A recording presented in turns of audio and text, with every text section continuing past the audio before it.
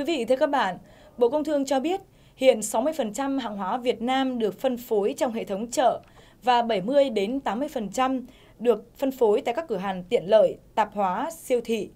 Cùng với đó là sự sôi động của các hoạt động kinh doanh qua mạng Internet.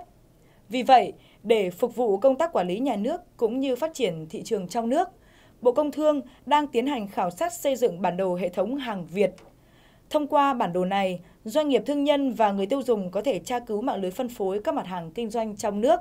các loại hình thương nhân, hình thức phân phối có đăng ký kinh doanh, mật độ các điểm kinh doanh trên cả nước.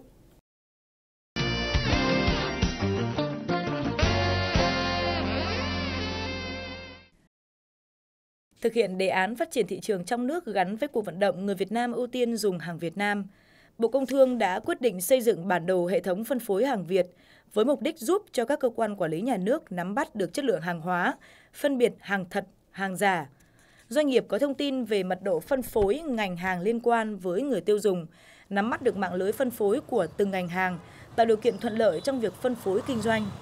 Đồng thời, bản đồ sẽ hỗ trợ hiệu quả cho các chương trình bình ổn giá, kết nối thực phẩm an toàn vào hệ thống phân phối, mô hình chuỗi cửa hàng đảm bảo an toàn vệ sinh thực phẩm, vân vân mà Bộ Công Thương đang triển khai. Cái nhiệm vụ xây dựng bản đồ bán hàng Việt là một trong 12 chương trình quan trọng của đề án phát triển thị trường trong nước gắn với cuộc vận động người Việt Nam ưu tiên dùng hàng Việt Nam được Thủ tướng Chính phủ phê duyệt năm 2014. Thế thì chúng tôi năm đầu tiên thì đã triển khai ờ, là xây dựng cái phần mềm Thế và cái phần mềm này là đủ để cái cơ sở dữ liệu update hết tất cả những cái điểm bán hàng Việt mà thời gian tới đây ờ, điều tra được và các địa phương tình nguyện điều tra được cũng như là các doanh nghiệp tình nguyện đăng ký lên trang này để ờ, nhằm ba mục đích. Thứ nhất, đây là cái cơ sở dữ liệu để cơ quan quản lý nhà nước là nắm bắt được thông tin, làm căn cứ để xây dựng những cơ chế chính sách. Thứ hai nữa là hỗ trợ cho người tiêu dùng biết được những cái điểm bán hàng Việt để đến tiếp cận và mua ưu tiên sử dụng hàng Việt Nam. Và thứ ba là hỗ trợ cho các doanh nghiệp Ờ, phân phối và doanh nghiệp sản xuất ra hàng Việt kết nối cung cầu với nhau, đưa hàng Việt Nam đến cái hệ thống phân phối trên phạm vi toàn quốc.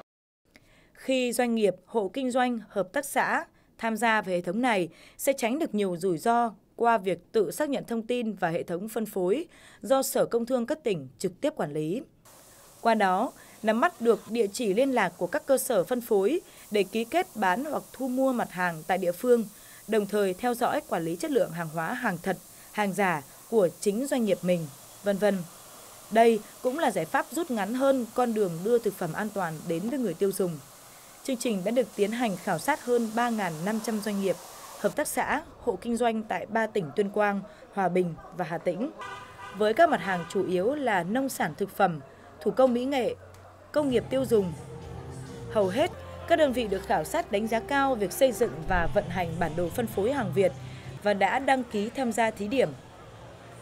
Tôi đánh giá rất cao cái ý tưởng ờ, xây dựng cái bản đồ hàng Việt ờ, của Bộ Công Thương và qua đó có thể nói rằng là nhà sản xuất, nhà phân phối cung cấp những thông tin mới nhất về cái hệ thống phân phối của mình, đặc ờ, biệt là cổ suý cho những cái hàng Việt đảm bảo chất lượng, uy tín.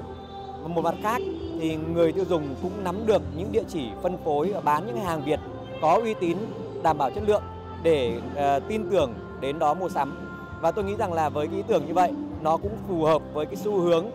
áp dụng à, công nghệ thông tin vào cái việc à, phân phối và quảng bá cho hàng Việt trong thời gian tới. Xây dựng được cái bản đồ cho các hàng Việt Nam này thì cũng uh, tạo điều kiện cho doanh nghiệp cũng có cơ sở để để để uh, có một đơn vị thứ ba, tức là giống như một đơn vị thứ ba để quảng cáo quảng bá cho cái, cái của của doanh nghiệp thì đấy điều đấy rất là tốt, rất là khách quan. Tôi đánh giá rất cao vấn đề đó. Khi mà họ ờ, vào trang web truy cập uh, những cái nguồn dữ liệu ở trên đó thì họ hoàn toàn tin tưởng vào những cái ờ, dữ liệu đó. Từ đó thì họ cũng tin tưởng được những cái ờ, đơn vị, những cái doanh nghiệp như chúng tôi mà có cơ sở dữ liệu là ở trên trang web thì từ đó thì họ cũng có cái sự uh, sẽ sẽ uh, có thể là sẽ ưu tiên hơn uh, biết được đến hơn thì họ sẽ ưu tiên sử dụng về tất cả những cái mặt hàng mà uh, không chỉ có đơn vị chúng tôi mà câm cung cấp dữ cơ sở dữ liệu mà còn nhiều đơn vị khác nữa.